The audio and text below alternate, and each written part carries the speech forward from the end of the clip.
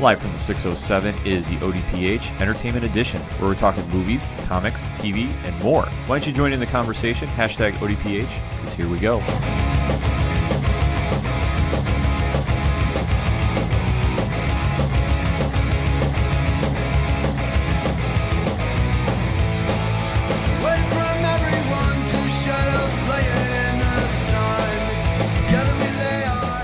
And welcome to another edition of the ODPH Entertainment Edition. I'm your host, Ken M. Sitting across from me this week is the one, the only Padawan J. Hello, hello, hello. Folks, we have a lot to discuss. Let's waste no more time. Hashtag it up with us. Hashtag ODPHEE. E. We got a lot to discuss, so let's waste no more time. Jump right into it. The biggest news of the week had to be Marvel dropping the Captain Marvel trailer on us.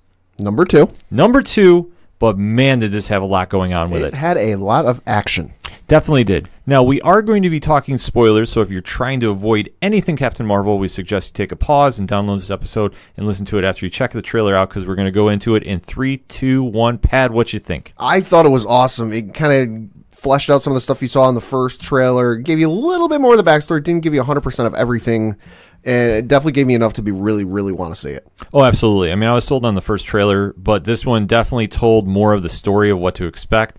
The first opening shot was the infamous train scene mm-hmm. where you see Captain Marvel, played by Brie Larson, punching an elderly woman. Mm-hmm. Now, if you know anything about her background, you know that Captain Marvel is a Kree, and their mortal enemies are the Skrulls. So what you're saying is she doesn't go around punching little old ladies for fun. Correct, which I know threw some people off when they first saw the trailer, but obviously there's more to the story. Right, and they make that abundantly clear in the in the trailer. Right when it opens up, you see the little old lady, and she's given Captain Marvel the weirdest look I've ever seen a human being give another human being, and you can clearly tell. All right, something ain't right about this. Absolutely. And then you see the fight break out between them. Holy cow! She starts doing like jujitsu or some nonsense. Yeah, it was almost like parkour. Yeah. Like just flying all over the place and they're fighting on the train and they're they're kind of jumping around with the flashbacks and you're hearing uh, Samuel Jackson's character Nick Fury kind of doing some narrations in the background and you're seeing that basically the origin of Captain Marvel in a nutshell so to speak that you know that uh, she was an Air Force pilot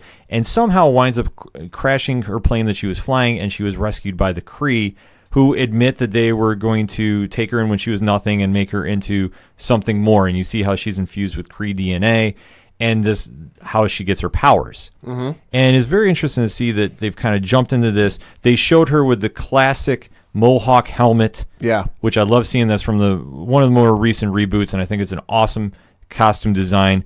And we finally see that in action, and we see her demonstrating her powers. She's shooting energy beams off. She's flying. so she's demonstrating her powers turned to like eleven. Absolutely, because I think if you unless you read the comics, you really don't know what Captain Marvel can really do. Yeah. And her history is very, you know, very complicated to say the least. But you're seeing elements that they're borrowing from different eras of her time, and they're obviously showing how powerful she is. I mean, she's tearing through an entire Starfleet at one point in this trailer. Seemingly single-handedly. Yeah, without any problems. And it's just it's awesome to see just the visuals they do and you can see her just powering up so much and she's just firing away and just destroying planes like nothing.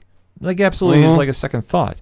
And as they're going they're showing more earth flashbacks too. Yeah. So they're kind of you know making it very clear that she has amnesia at this point, Mm-hmm. and she's really trying to figure out who she was because at, at one point in the trailer she's talking with Samuel L. Jackson and she's saying or Sam's going, so you're part of a Kree, a noble warrior, and she's like, noble warrior heroes. Right. Like she's making a deliberate point to, to say that. Yes, because and what she's been almost programmed to say is how noble the Kree is, and as we're kind of getting the sense in the film, not everything is what it seems. No. And if you read the comics, the Kree have a very unique history with the Avengers. Mm-hmm. I mean, obviously, what this, what I think Captain Marvel is going to be doing for their movie is their version of the Kree Skrull War. Right. Now, if you've read the Avengers comics, uh, depending on your age, in the 70s and early 80s, excuse me, they had um, ramifications from the Kree Skrull War, which the Avengers were brought into, and there was you know galactic ramifications. yeah. yeah. And then later in the early 90s, they did Operation Galactic Storm, which they kind of re-followed up with that, and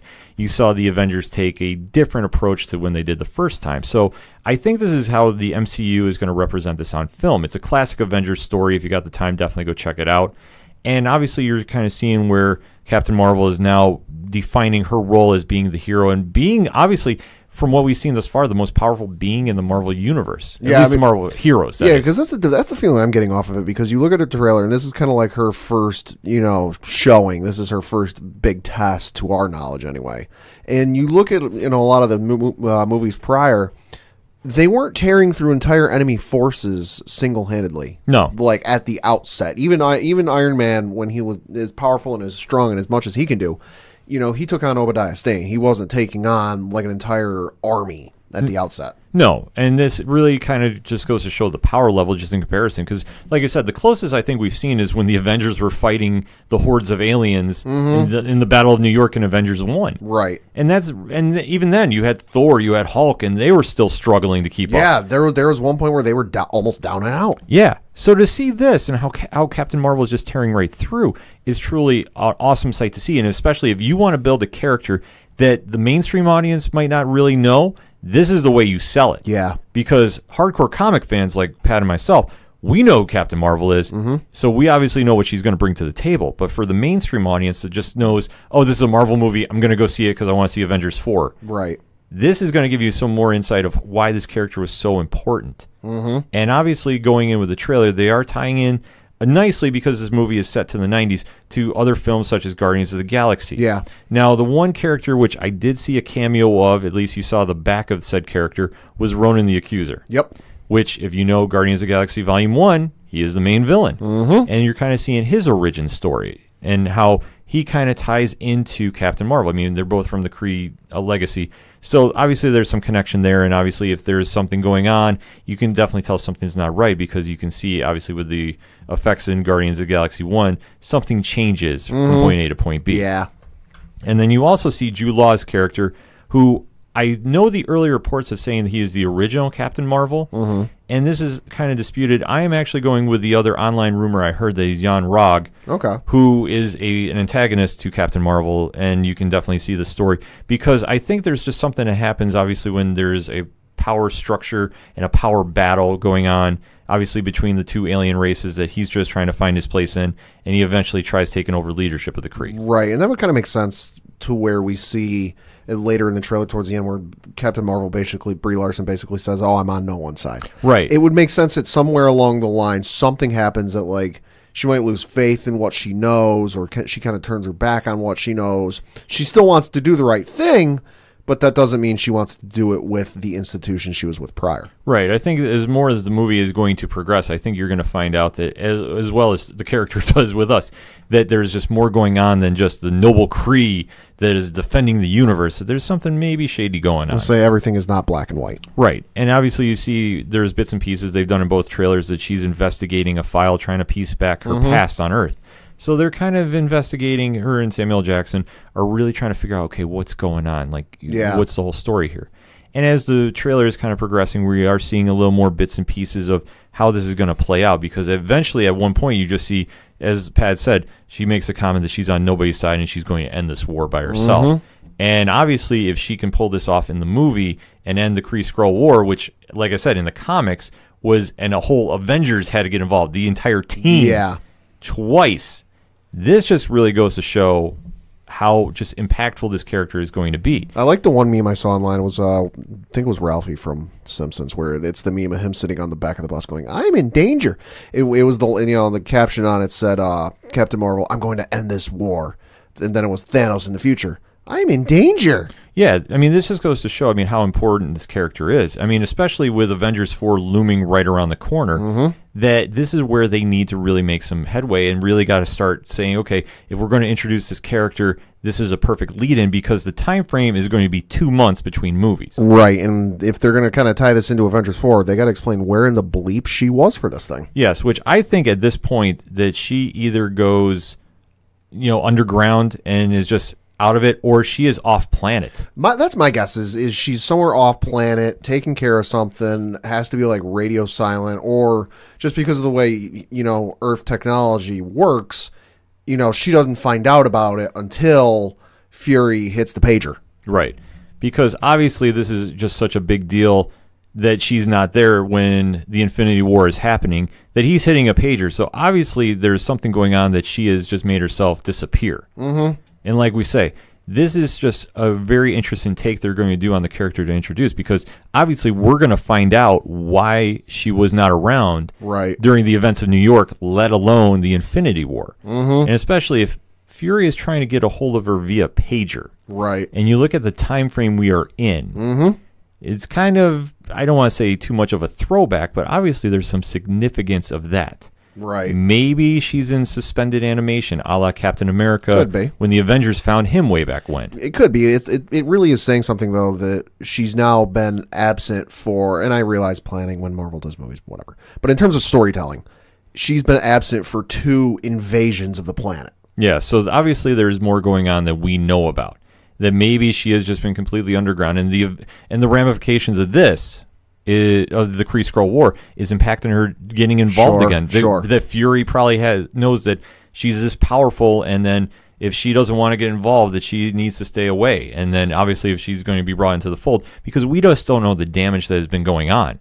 Because as has been alluded to, I mean, if you've been brainwashed mm-hmm. and you're trying to just really get your bearings back, I mean, you're not going to exactly want to jump into another battle, so right, because uh, if Fury's got this calling card for her, you know, you look at the the lead up to the fight, the Battle of New York in, in Avengers One. If he's got cat, some something must have been going on where she couldn't, ma- you know, be there, or he knew she he couldn't call her.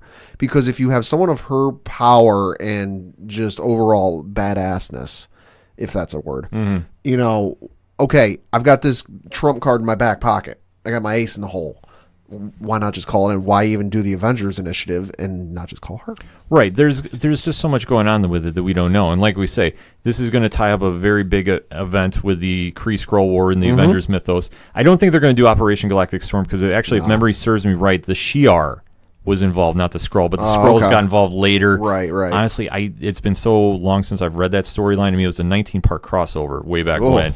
Yeah, yeah. this this was one that went all like all through every single book that was going on for the Avengers in the time. Yeah. If I'm not mistaken.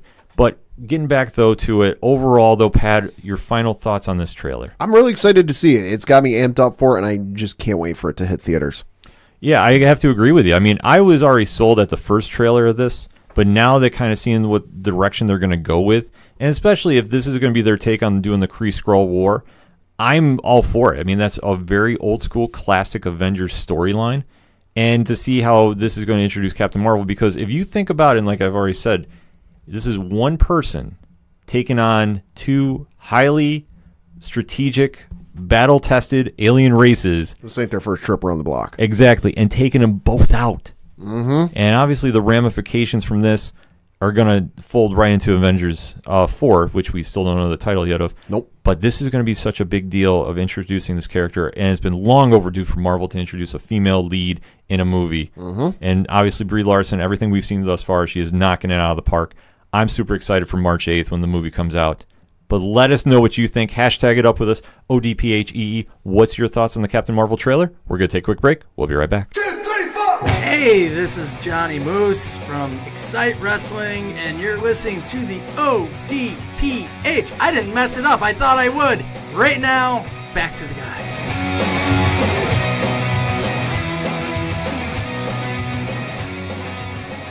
Coming back for segment number two on this week's ODPH Entertainment Edition, and we have to talk some Netflix, Marvel, Disney drama yet again. Mm-hmm. Part three. Part three, but this one more surprising than the other two. Not really for me. Well, for me, it was in the sense of if any show was going to survive the X, I thought it was going to be Daredevil. But it has been announced that Netflix has canceled Daredevil on the heels of a critically and commercially uh, successful season three. I'll say for me the only part that this wasn't surprising at all. I mean, Luke Cage got canceled, Iron Fist got canceled, Defenders got canceled, Jessica Jones and Punisher will be canceled. But the only surprising thing for me was the executive producer of this show tweeted out. I want to say it was like two weeks ago, might have been three. Uh, that he actually pitched season four to Netflix. So the fact that it even got that far surprised me because I was like, all right, the writing's on the wall that these are all gone. Well, I agree with you. I mean, obviously, we've been discussing on previous episodes about the drama that's going on since Disney is now going to be rolling out their streaming service, Disney Plus. And obviously, there's kind of some bad blood now between them and Netflix, as we're interpreting, because first Iron Fist was canceled, and then Luke Cage was canceled the day that Daredevil season three came out. Mm-hmm. Now, I thought that was kind of very odd, but I'm going, okay, maybe, just maybe they might keep Daredevil because of the popularity of it. And obviously, it's coming off one of its strongest seasons, arguably its best season.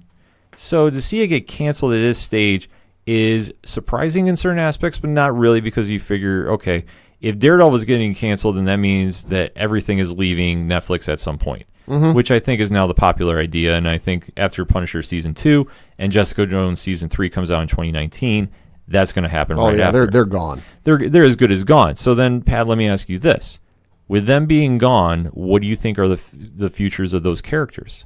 Nothing.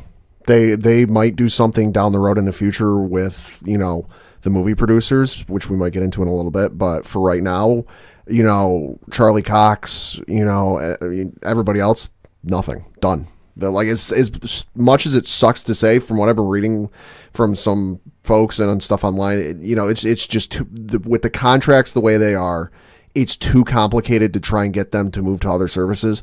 Plus, there's the fact that the Marvel movie producers and the Marvel TV producers do not get along. And to use a kind of example, lock them in a room together and someone's not coming out alive.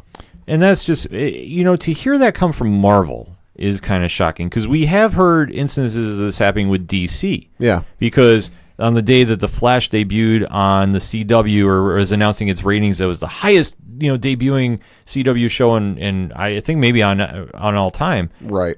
the movie studio had to announce that Ezra Miller was cast as Barry Allen for the Flash film instead Right. of saying praise to Grant Gustin and company for doing an amazing job on their debut. Yeah. So obviously, when that happened, you can definitely go through the backlog of certain actors' tweets Mm-hmm. and hear their opinion about how angry they were, and rightfully so. Yeah. Because essentially, you're working under the same banner. Mm-hmm. Like, why are you trying to create create this animosity amongst the division between TV and film? Mm-hmm. Like, it's two different mediums, but you're all working for the same team, and you're all uh, working for the same audience. Right. Because the same people that go watch the TV shows are going to go watch the movies and vice versa.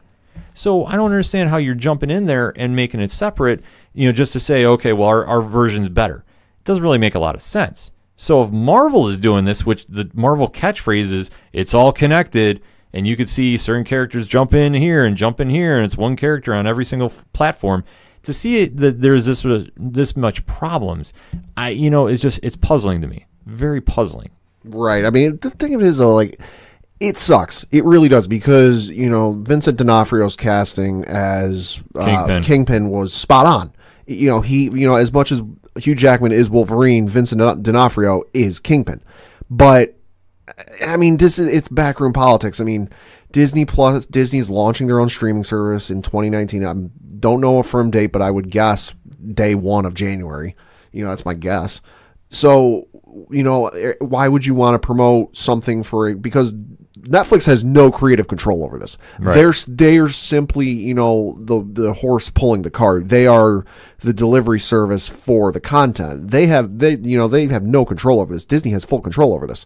But Netflix is the one who can control whether they do a new season or not. And the thing is, in Netflix for a couple of years now, it's been well known that Netflix wants to get to a point where a large percentage of their stuff is Netflix made because they don't want to be held by these these studios and these companies, you know, held ransom for bringing their content to their site for whatever price the, the company's paying. I mean, the example I can give is people were freaking out the other day because it appeared on Netflix's site and everything you can watch Netflix on that Friends, the TV show, was leaving Netflix on January 1st. So everyone lost their minds. Mm. Well, then it came out, Netflix announced, hey, don't worry, you know, Friends is staying through 2019. Asterisk, they're paying $100 million for the entire year for one show. This is what Netflix wants to get away from. They want to get away from being held hostage by these companies saying, oh, you want to keep our show? We're going to up the pay. You got to pay more for our shows so they can have creative control, they can have financial control, and they can really, you know, not blow so much money. Like, uh, I'm sorry, a $100 million for one show? That's a lot. It's a lot, especially the show has been off the air for how many years? I mean, granted, it is a very popular show still in you know almost like a cult following at this stage. Right. I mean, obviously it was the biggest show on TV during its time, But obviously, as every TV show goes through, they go through their highs and they go through their lows, and then they start getting canceled. And if you're curious, uh, previously when Netflix first got it, they were paying thirty million for the year, so the price jumped seventy million dollars. And I mean, that's just crazy. But that must, to them, they must have the data that backs it up. Yeah. I mean, they've never released their numbers of downloads. You just really have an idea of how popular a show is. Right. Based off the social media reaction and just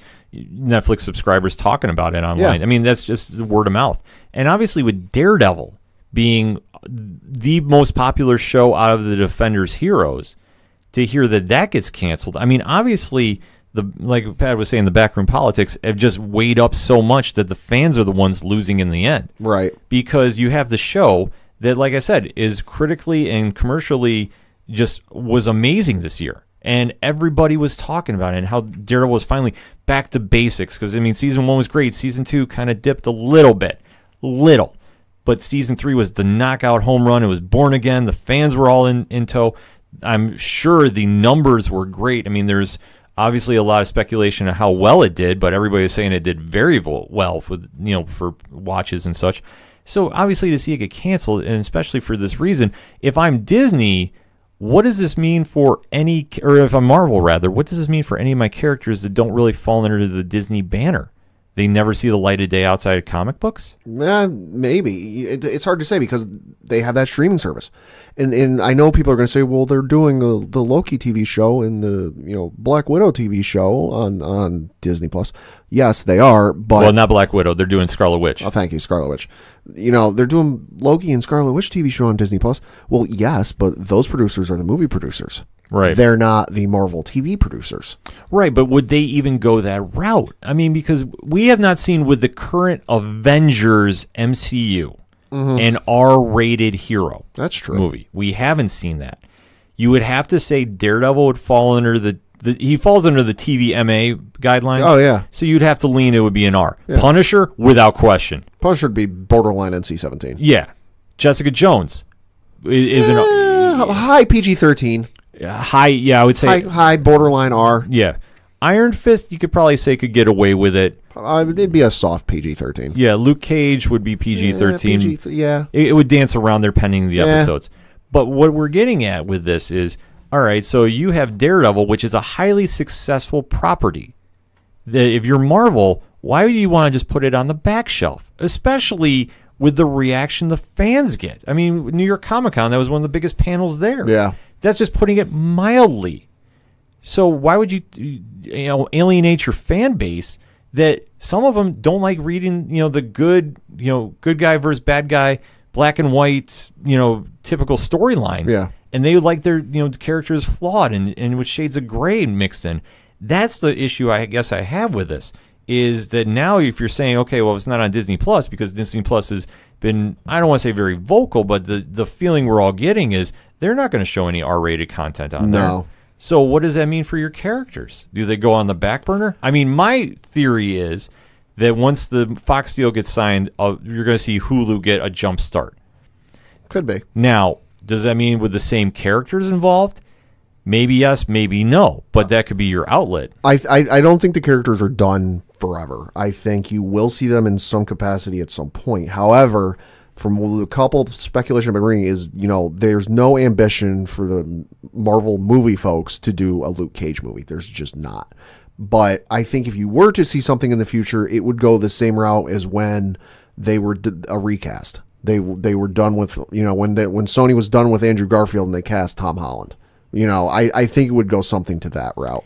Yeah, I could see that happening, but I guess I would also have to say, with obviously the Andrew Garfield Spider-Mans, they weren't exactly home runs out of the park. Uh, so yeah. thus they had to do a reboot. So with this, I mean, the shows on Netflix, too, our knowledge, have been very successful. I mean, the degrees have varied. I mean, Iron, Yeah. Iron Fist was probably the least well received, but would you just completely start over just to start over. I mean, that's I mean, to me that just kind of seems a little ludicrous because you have a successful franchise in Daredevil with a Daredevil that fans love, a Kingpin which fans love. Yeah. They've now introduced Bullseye who fans love. Why would you just go, okay, you know, that's great, but we're going to redo it just to redo it? Right, but then the also the other flip side of that coin is okay, as well received and successful as these TV shows have been, why has the only reference between them and the movies been the incident? The Well, right. incident. Well, like- incident. like- now, granted, I would have liked to see him in Infinity War. Didn't need to give him a speaking line, but it could have been like some sweeping camera movement, and hey, there they are. Yeah, no, they should have done it because, like we say, their catchphrase from Marvel is "It's all connected." So connect it. I mean, it just Right. it, just seems foolish to me that all right, if you're if you're going to separate everything because everybody doesn't want to play with nice with each other, that's stupid. Right. Because you're ultimately alienating your fan base. Because we're the ones watching. We're the ones shelling out subscription money to go watch. Right. We're the ones paying for tickets to go watch. Now, am I saying that everybody's going to revolt and not go? No, because we all know that's not going to happen. Yeah. But why do you want to alienate your fan base who is very rabid? If you want, if you don't believe fan bases are rabid, um, take a look online about the Avengers 4 trailer and everybody waiting for it to drop. If you don't think that's a rabid fan base, Yeah. enough said Yeah. in the words of Stan Lee, rest in peace. But my point is with this is with Marvel obviously not making any imminent plans to our knowledge about Daredevil and Netflix canceling it is now saying that Marvel doesn't have an outlet for its more mature heroes and villains. The, and I think that ultimately hurts the quality of what they can do for the social medias or the different mediums. I'm sorry. I think they do have plans. It's just because of the very nature of a lot of stuff. Get the Fox deal and everything that comes with it. They have plans. It's just they, like we said before, with you know bringing in the X Men and Fantastic Four characters. They legally can't do anything, or it will tank the deal. My guess is they have plans. They have stuff in their head that you know, or they've kind of discussed, but like they haven't firmed out. Like, oh, we might be able to do this, might be able to do that, but they don't have anything in writing down firm because it will tank the deal. My, they've got something planned because it, it's Marvel for Christ's sakes. They've got this all planned out. Oh, I would fully imagine. I mean, Marvel's no dummies. No matter where it comes down to, is just everybody's got to really play nice with each other. I mean, You the- don't you don't put out twenty some odd movies over ten years to get to a point and just wing it. No, absolutely not. And especially, you're kind of seeing a resurgence in the different TV markets because Agents of S.H.I.E.L.D. Got renewed out of nowhere. Out of the blue. so you're canceling Netflix, which is doing well with your Defenders universe, but yet you're bringing Agents of S.H.I.E.L.D., which Well, is. well, is- apples and oranges here because Netflix is its own thing, wherein ABC is owned by Disney. Right. So no, which I guess makes sense, but it's like you're talking about ratings versus ratings. I mean, Agents of S.H.I.E.L.D. Has done okay. Yeah. But I think Daredevil has done better. probably. And I'm not taking a shot at Agents because I love Agents. Yeah. I watch it every week. Yeah. My point is, if you're looking at it from a ratings stand, you know, standpoint, how are you canceling and not making any plans to take care of your ones that are doing extremely well? Mm-hmm. But we're giving two renewals as it's now been renewed for season six and season seven. Yep. For a show that's doing okay in the ratings. I mean, Yeah. the playbacks on DVR is what's really saving the show. oh yeah. But I mean, I guess it just kind of boils down to all right, if everything's going to go through the House of Ideas movie division, what does that fall for the characters that don't really fall under the Disney guidelines? That's the question right now. And obviously, with Daredevil getting canceled, it obviously stinks. There's nothing nice to say about it No. because, especially how well the season is done. And you almost want to say the Punisher and Jessica Jones seasons are throwaways, but I don't think so. No, I don't think so. I, I think it'll. I think there, there'll be good watches, and I will. There is one thing I can say thanks about for their the Daredevil seasons. Uh, thank you for upping the ante on fight sequences in uh, comic book television. Yeah, absolutely. That ra- the fight scenes in that, even if you haven't seen the show, find the fight the hallway fight scenes on YouTube or however you can find it, and just watch those. For me, those up the ante and raise the bar for not just Marvel but DC and any other you know show that has fighting sequences. Oh, absolutely. I mean, the fight scene from season one, episode two, I believe. Yeah. The hallway scene, and then most recently the prison scene. Yeah. In season three, definitely amped up the ante on everybody. Arrow is probably the only closest one. They There's- came close. They they've come close. They've come close. But if you want to talk about fight scenes, I mean, Daredevil has been so impactful about showing how a grittier character can work in a smaller medium. I'll say because if you want something bat, you know what crazy about that season, the most recent season of Daredevil fight scene, that was all one shot. Yeah. that was no cut. All right, now we're gonna move the camera and place over here. Action. Okay, we're good. Cut. No, that was like start finish, one shot. Let's go. Yeah, and that's the whole thing about how impactful this is because Daredevil has set the standard. So to see it just get canceled on the wayside and just put on the shelf after it's coming off its best season is a little puzzling to me. And it just Right. it just doesn't make sense that Marvel now is playing, you know, who who's who's the bigger bully in the box? Is it the movie division or the TV division? Because they need to figure this out because who's ultimately going to lose? The Fans. fans. But let us know what you think, though. Hit us up on the hashtag ODPHE. What's your thoughts on Daredevil getting canceled? Where do you think it's going to wind up? Is it going to come back at all? We want to know. We're going to take a quick break. We'll be right back. Hi, this is Mike C from I Am Horror. You're listening to the ODPH, the most killer podcast on the planet.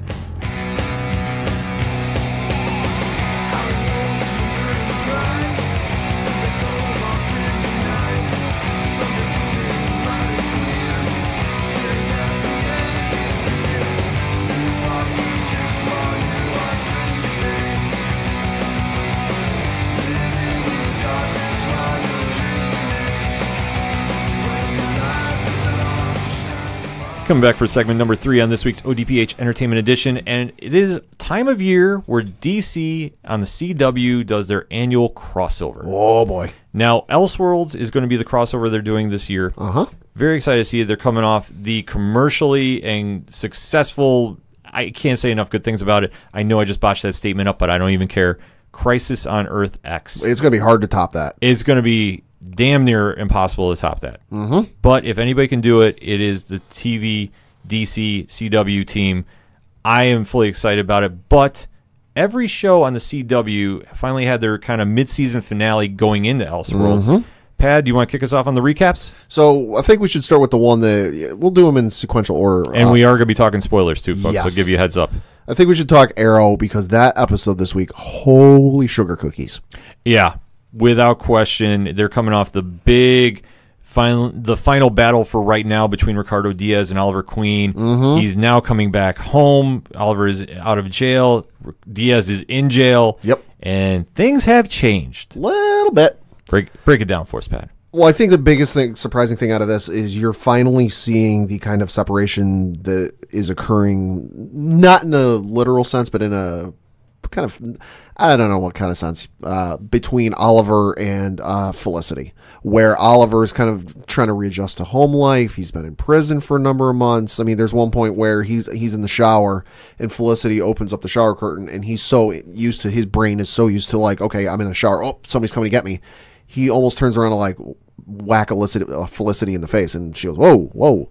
But then later in the episode, you see her, you know, where the home's getting their home's getting broken into, and she pulls a gun out, and he goes, "This isn't you," and she goes, "No, th- you're right. This isn't me. This is who I became. This is what I had to do because you went to prison." Yeah, you ultimately see what has happened to the team around Oliver since he's left. Mm-hmm. Because I don't think he realizes what's been going on per No. se. Because I mean, obviously he's been in his own personal hell, being locked up in Slabside.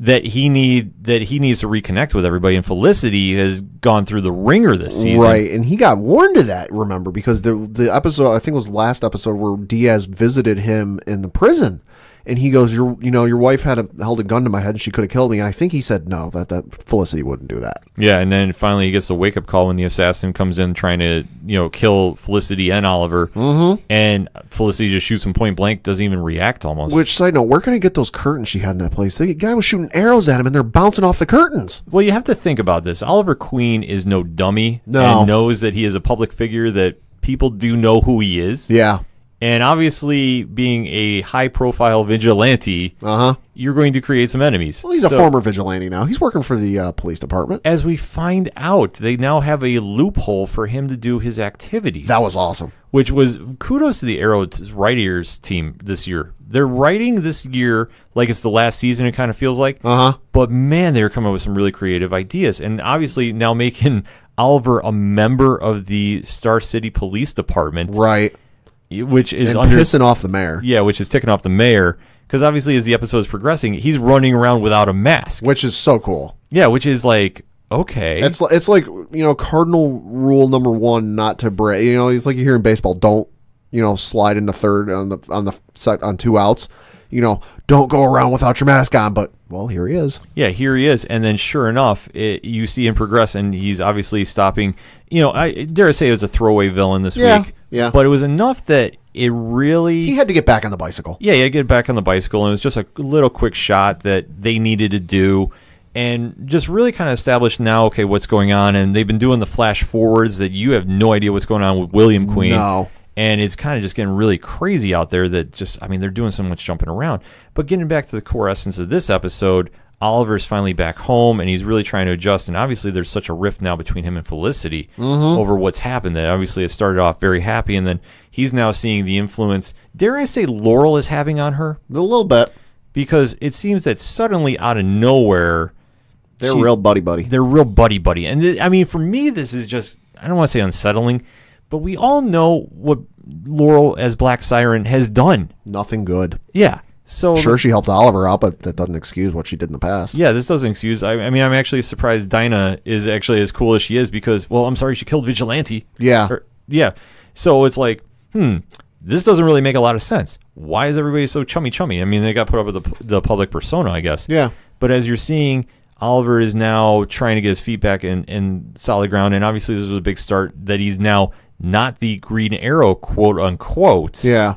But he does know there's another vigilante running around. Mm-hmm. And we finally find out who that vigilante is, In the twist of all twists. which was brilliant because I completely forgot about this character. Uh huh. But it's Emiko Queen who was introduced in after in the new uh, rebirth of DC Comics Green Arrow. Right. That she is the son or daughter rather, I'm sorry, of Robert Queen, yeah. Which is absolutely mind blowing because Where the you know what have you been for the last seven years? Exactly, because I know as soon as we start digging into her past, we're going to find out a lot of different stories going on Uh and what she's doing in Star City. And now that she knows, obviously, Oliver is out of jail running around, what's that connection going to be? I think she adds a very strong dynamic to that group.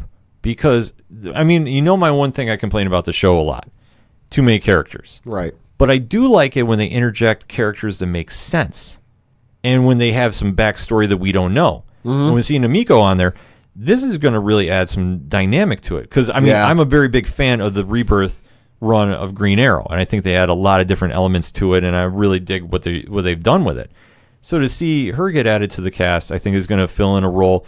Obviously, that Thea, yeah, you could say maybe she had, maybe she didn't, but we don't know anything about this character per se. Right. So how she's going to be presented in the CW universe is going to be really telling. And now they're heading into Elseworlds with Arrow. Supergirl had a very strong episode, but it almost seemed like they wrapped up too much of their season so far Right. because it, obviously in that episode they finally defeat Agent Liberty, mm-hmm. who now goes to jail and is almost like a martyr because he's been arrested for his crimes of defending humanity, quote unquote. Which I hope this isn't the end of him because Sam Witwer is an amazing actor and, and his portrayal has been phenomenal. Oh, he- he's been great. He's been a solid addition to that show as an antagonist, and I love Manchester Black too. Mm-hmm. I thought you know because obviously you've seen him in other mediums, and obviously they they have toned it down a lot for the CW. Just a little bit. But I thought he's been a great addition to the show, and you finally see the, the almost the three way dance between them. Plus, they introduced Nth Metal, Yep. which if you've read you know anything from Hawkman to Dark Knights Metal by Scott Snyder and Greg Capullo, you know what that is all about. I'm just loving the little Easter eggs they're planting in, and obviously it ends with. Uh, Agent Liberty now is in jail, but is you know still being impactful behind bars. Manchester Black has been uh, in, incarcerated too, and the president has now asked for Supergirl's uh, secret identity because basically Agent Liberty has just out just won the chess match by getting himself arrested. He's become more of a public figure to win sympathizers to his cause. So he ain't no dummy. Yeah, which now he's forced the hand The Supergirl has to identify herself, and she she won't. And now the ramifications are that she's now been ousted from the DEO Yep. and where this happens from here because we still haven't even touched upon the clone or whoever that is on the other side of the planet that we think they're doing their Yeah. version of the Red Sun story. Yeah.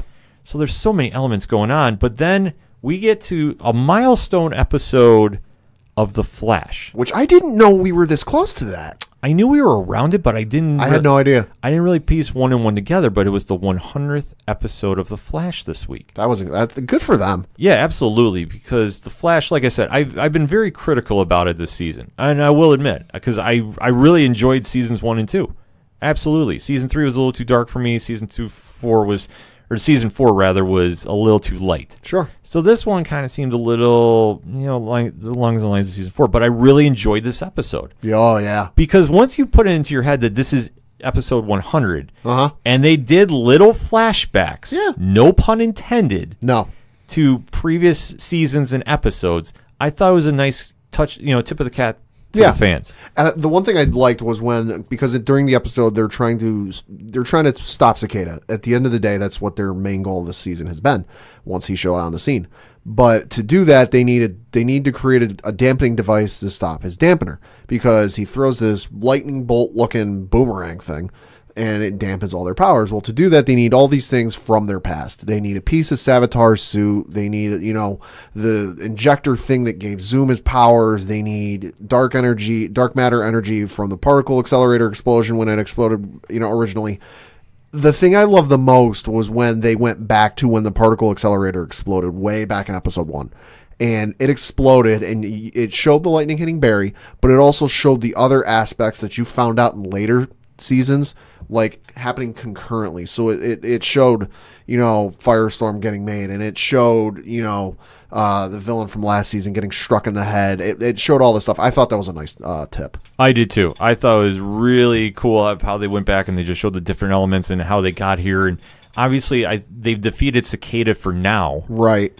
But this is going to be very interesting moving forward because during all these flashbacks, we do see a little flash forward. uh-huh And obviously, with Nora West now being from the future, yep the, something has not seemed right with her all season, according to the uh, Harrison Wells of that is sherlock wells yes, Sherlock Wells that is on this season. best wells so far in my opinion He, he he's growing on me. Didn't really like him at first, but I but Tom Cavanagh is such a great actor that you know he's he's pulling it off. which side note how great was it to see him play eobard thawne wells again Oh, that was the best. Oh, so good. throwback and i loved it Yes, because the big reveal of that was Nora West is having contact with we're presuming Eobard Thawne Uh-huh. in the future. I don't see, in the th- and a lot of people are thinking, oh, it's the one from the future before he goes into the past. I don't think so.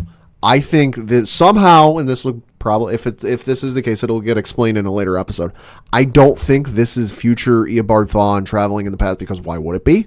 Mm-hmm. You know, he was Eobard Thawne in the future, traveled into the past, and took on the identity of Harrison Wells. This was established in one of the prior seasons. I think this is Eobard Thawne as Harrison Wells somehow surviving because if you remember when they went back to the past to get uh, him to fix the device because it broke, you know, he goes, "Oh, I can't wait to see how this plays out." Yeah, this is going to be something that we really got to figure out what's going on. And honestly, I, I haven't been able to figure it out yet. Uh, neither have I, and, and he knows because Barry told him he won't get back to the future. He won't get back to the future. He wasn't pleased about it, to say the least. I, I don't know how, but somehow I think, gosh darn it, comic books, he's alive. Yeah, and you know what? I would fully buy it. There's so much with time travel in the Flash. We're not even going to get into Legends of Tomorrow, even though they had Yeah. a very solid Yeah. episode. Even though they're getting more more like Doctor Who every episode. A little bit. I'm convinced, and that's not a bad thing. No, it's just no. they're getting a little more wackier, and the humor is definitely in the season. But I think it's to balance out uh, Matt Ryan's John Constantine, who is absolutely crushing every episode right yeah, now. yeah. Yeah. What was it? The one up, uh, the father, government father dude. Uh, I, forget his name. Is touring the ship because he's trying to figure out, you know, where. All right, why are we spending so much money on on these guys? And he walks into. They're like, oh, let's show him the study. The study's a good place to show him. And there's Constantine sitting like half naked and, and meditating in the room. Yeah. It's just they're getting so like injecting of humor and just his character, like I said, is just stealing every scene he's on. Uh huh. I'm just waiting for him to get more time with Rory. Ooh, that'd be good. Just the one-offs. I just Yes. the one-liners in that is just gonna be epic. But overall, though, going into the crossover, I thought Supergirl had a very strong episode. Arrow had a really good episode. Mm-hmm. Flash 100. And before we get off the Flash topic, Pad, what is your favorite episode of the Flash? Well, thus far, I mean, because it's most recent in my mind, this one. But if if you had to hold a gun to my head and, and not say this one, I would have to say probably the one where you know the Flashpoint one, where because it, it's always fun. You know, alternate history is always uh, something fun to read and see because it, it's a glimpse into what could have been. You know, it's almost like the uh, there was a comic books back in the, like the nineties, I believe it was Star Wars Infinities, where it was it was you know what would have happened if Luke didn't survive on Hoth? What would have happened if Darth Vader survived the final battle on the Death Star? The stuff like that's always fun to see and read. Yeah, absolutely. My my two. I mean, it's kind of a tie for me. I love the runaway dinosaur, Mm-hmm. where Barry is kind of having that heart to heart moment with the Speed Force. Right. It's the one Kevin Smith directed. brilliant, just top and bottom. Like it, it- you find out it's kind of the Speed Force because he's kind of having that moment where he's making peace with his his late mother, and Mm-hmm. it's just there's so much going on in that episode. And then Captain Cold's introduction. Yes. Wentworth Miller on the season one, and I wish he came back, or at least if he's not going to come back, recast Captain Cold because I think he's sorely needed on the See, Flash. I feel like he's needed, but I don't think you can top Wentworth Miller's portrayal. I don't think you can either, but it's one of those things. Like if we're talking about another season of the Flash, I I really just want to see a Captain Cold season. Sure. I don't want to see just a one-off episode. Sure. because it's like that's one of your major rogues, and we're not seeing it, and we're getting like other, you know, B-list villains, and I don't like it because especially how deep that cast is. Mm-hmm. And now going into Elseworlds, we did see a little teaser trailer at the end of each episode where you're seeing the Monitor is on Earth 90 talking Yep. to John Wesley Shipp's Flash, which we're assuming that's the TV universe from the 90s. Probably that would be my guess for the deliberate choice of Earth 90. Yeah, which I'm completely cool with. Yeah, I, I think yeah. that's a, that's such a cool nod. Don't really know what's going on per se because with the, his being the character of the Monitor, he's not the anti-Monitor. Right. Which, if you know Crisis on Infinite Earths, you know who that is very well. Uh, classic DC story. Go to your local comic shop and pick that one up. Hands down, you need to get that if you have not read that.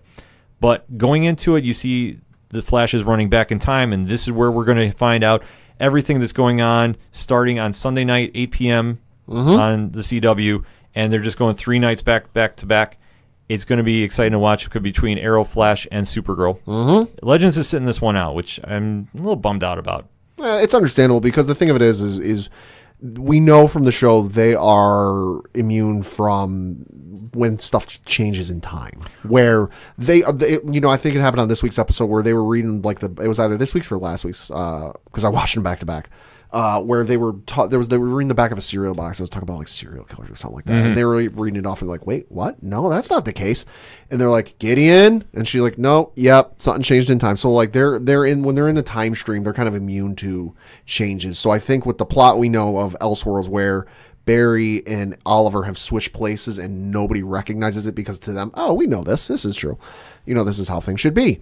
They know things are wrong, but because I think I think just for storytelling purposes, Kara needs to be the only person who can tell. Okay, these aren't the right guys. Right. And obviously, there's going to be huge, huge character developments. We're going to see Batwoman introduced, played Yeah. by Ruby, Ruby Rose. And obviously, they're bringing back Superman. We're Right. introducing Lois Lane. A bunch of other characters I'm probably missing because I can imagine that that's not going to be the only surprises we have. And I like from the previews I've seen online where they're kind of, you know, they've hinted at the big three Superman, Wonder Woman, and Batman. I like how they're kind of hinting at it further where they're in, I think they're in Gotham or someplace, you know, they're, they're someplace and you hear Oliver go, Batman's just a legend. Mm-hmm. I love it. Yeah, absolutely love it. So the setup for Elseworlds is going on. Like we said, it kicks off Sunday night as we are recording, 8 p.m. on the CW. Check your local listings wherever you watch the CW. Make sure to check it out and hit us up on that hashtag ODPHE. We gave you the recap of the DC TV universe this week. What was your favorite episode, and what's your favorite episode of The Flash? I want to know. So hit us up. Let us know you are listening to the Ocho Duro Parlay Hour Entertainment Edition. Hey, this is Rob Kacharik from the band 607, Autopilot Off, and Walking Distance, and you're listening to ODPH.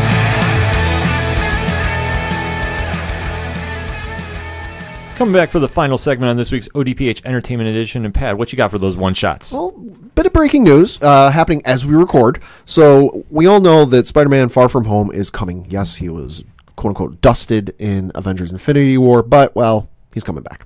Uh, now you may be curious, who's the villain going to be in Far From Home? Of course, we saw Vulture in Homecoming. Who are they going to do for uh, Far From Home? Are they going to do Green Goblin? No. Are they going to do Kraven? Much as I'd like to see to see that, no. Uh, we do know Jake Gyllenhaal is playing the antagonist in Far From Home, and uh, as we record, he posted on his Instagram a uh, photo of the cover of Amazing Spider-Man number three eleven, The Return of the Man Called Mysterio. So.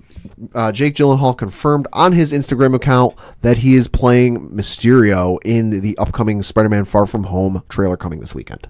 Yes, and speaking of trailers this weekend, you have some more news for us. Yes, uh, coming Friday, 9 a.m. ish. Uh, could be a little earlier. We are getting the Avengers 4 trailer. Not a drill, folks. Nope. We talked about the rabid fan base. We are not lying when we were saying this. We have a little news that Avengers 4 trailer is going to drop. Right. So Friday morning, 9 a.m. Eastern Standard Time. So however you adjust it as you were listening worldwide, this trailer is supposed to drop. This is the one everybody's been waiting on. Literally. Yes. And um, then the next day, we're going to get Far From Home. Yep.